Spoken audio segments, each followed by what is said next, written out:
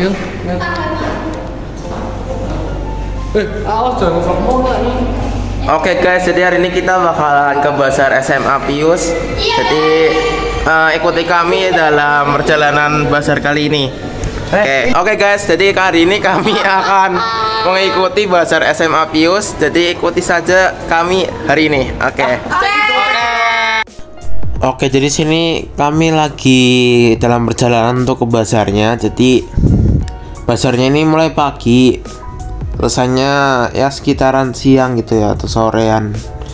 Nah ini kami lagi berjalan dari SMA Pius menuju ke lapangan yayasan. Nah ini udah sampai di bazarnya. Sini banyak macam-macam makanan yang berada di bazar ini.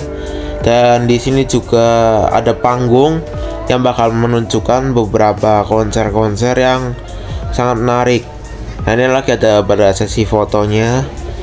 Nah itu juga kita bisa duduk di sini. Ini belum begitu rame, sana masih pagi ya. Nah, ini juga masih pak apa namanya? Oh, Nah, ini udah rame nih. Udah banyak orang yang datang. Sini aku lagi keluar dari bazarnya soalnya rame banget.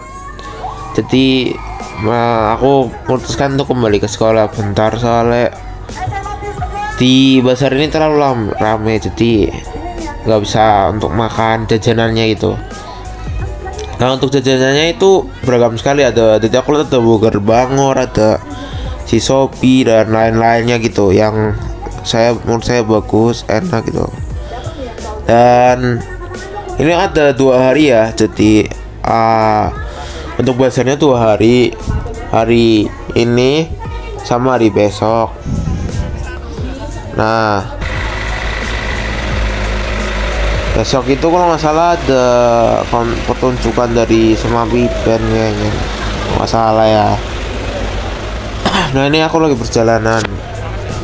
Jadi ini open house-nya itu di lapangan yayasan ya tempatnya kalian bisa parkir di ya di lapangan-lapangan kalau di area ya sekolah sini lah, sekolah Pius Nah ini aku lagi videoin nih.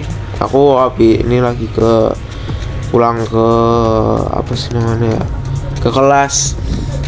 Nah sebenarnya kenapa video ini singkat? Maksudnya tahu di besarnya singkat karena ada beberapa alasannya? Ya terutama itu di sana besarnya apa namanya sempit apa sempit dia terus rame. Hati mendingan ini lah terus ah karena rame juga saya jadi malu ngevlognya nah ini saya lagi berjalan ke kelas. Di SMA Pius bener-bener suasana apa namanya ke pohonnya enak banget ya. Panas-panas kan tuh adem banget. Kalau kalian misalnya berkunjung ke SMA Pius pasti adem suasananya. Nah ini saya lagi perjalanan ke kelas saya. Nah ini saya masuk ke kelas saya dan saya disambut oleh teman-teman saya. Nah ini saya kita kembali ke sini. Saya mau aldorasi nah ini ada bazarnya jam 6 lebih 30 menit. Nah ini udah nggak ada orang ya. Ini besok baru ada lagi. Ini udah sepi nggak ada orang. Udah tutup.